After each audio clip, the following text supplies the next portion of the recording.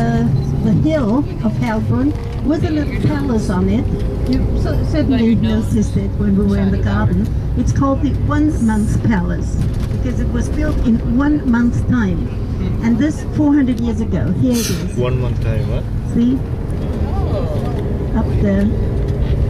And I'm pointing out this uh, little palace because when we are up at the convent, uh, from there you will see the hill with the palace again and recognize it. Hellbrunn Palace.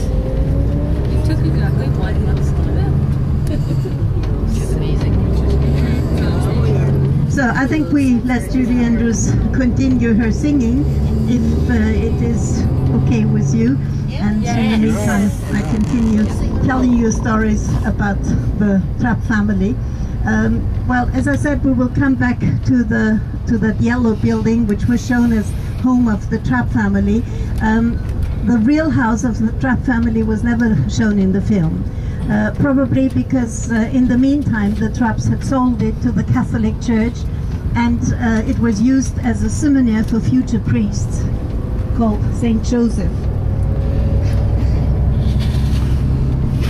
It is at another end of the city of Salzburg. Uh, even if we would try to pass by, we wouldn't see very much because they have high walls around and high trees, and it's in a very narrow uh, street. So um, I couldn't, even if I wanted to, I couldn't show it to you. But it was a nice little palace, and as I said, uh, the there was still all the money of uh, Agatha, the first wife of the Baron. Only in the 30s, the Baron lost all the money. Uh, not because of the financial or economical situation, but because he brought it from England, where it was all safe and would have been safe all the time. A, real fortune. I mean, for hundreds of years they could have lived uh, off it. But uh, he brought it to Salzburg and to a private bank where he knew the director personally. And this uh, lady had a lover who went away with all the money.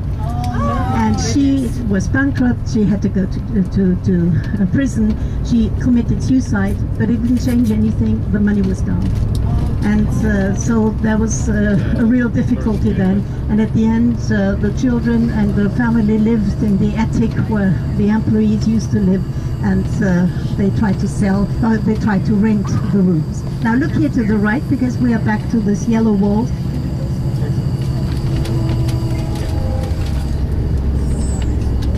and you see the palace again uh, you remember uh, it was shown again when the family tried to escape. Remember after the song contest, uh, they uh, had decided that they uh, wanted to escape. They pushed out the car of the courtyard and when they came around the corner uh, to the alley, uh, there was that black car of that unpleasant uh, Mr. Zeller and they put the lights on them and wanted to know where they planned to go and then they were uh, well, trying to find an excuse and an explanation that they would go to the song contest. So that was uh, filmed over there as well. Now, um, I was going to tell you that suddenly the Trapp family was there in the meantime with uh, nine children and no money because he was a mariner and Austria had lost all the money, uh, all the, uh, had lost all, all the um, well shore, all the uh, sea uh, parts uh, with the First World War, and uh, so there was no demand and no need for a mariner, and he hadn't learned anything else. So that was really a difficult situation. But Maria, as I tried to explain, she always had good ideas and so she tried to do what other noble families uh, have done after the First World War, who had big houses and no money left. Uh, she tried to rent the rooms. And um, they rented it to young students and professors of the university. And she's, Maria said it was quite interesting for the children. They, there was a lot to learn because there were very interesting discussions for, at the dinner table with these people. And during summertime, Salzburg. We have the Salzburg Festival, July and August. Uh, since 1920, so also in the time of the Trapps. Only in these days there were no good hotels, and there were a lot of rich people coming to Salzburg uh, to for the festivals. and uh, so they tried to find rooms, and um, the Trapp Villa was one of these, let's say, private uh, hotels. Uh, it happened that a famous singer, a famous soprano, um, Lotte Lehmann, you probably have never heard her name, but she was really internationally known. Uh, she had heard about the Trapp Villa, that they she could rent a room there, came out there and heard the children singing. And she was so enthusiastic about it. She said they had gold in their, uh, in, in, in their throats, and it was like you would hear angels singing. So she had the connections to the Salzburg Festival, and she made arrangements that they could enter a song contest, which happened a few days afterwards. And so there was that song contest, and the Trapp family won. So this is uh, right, like in, in Sound of Music. And this concert was broadcasted in radio and heard all over Austria.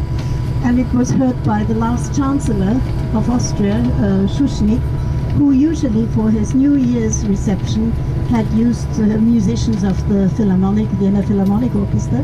He heard the children singing or the family singing and thought he would invite them. So for that New Year's reception, where all the ambassadors of other countries were invited, uh, they sang and were heard by these uh, people, and they invited them right away to sing in their country. So from then on, and that was in 1935, the Trapp Family's choir was a professional choir and very demanded and they sang all over Europe. They were in England singing for Queen Mary, they were uh, in Rome singing for the Pope and so on. And they also had an invitation to sing in America uh, for a longer time. And as the political situation had become, uh, with Hitler in 1938 coming into Austria, had become a little difficult, they decided to follow that invitation and go to Americans in there. Now I have to interrupt because we get off at a place where we are not allowed to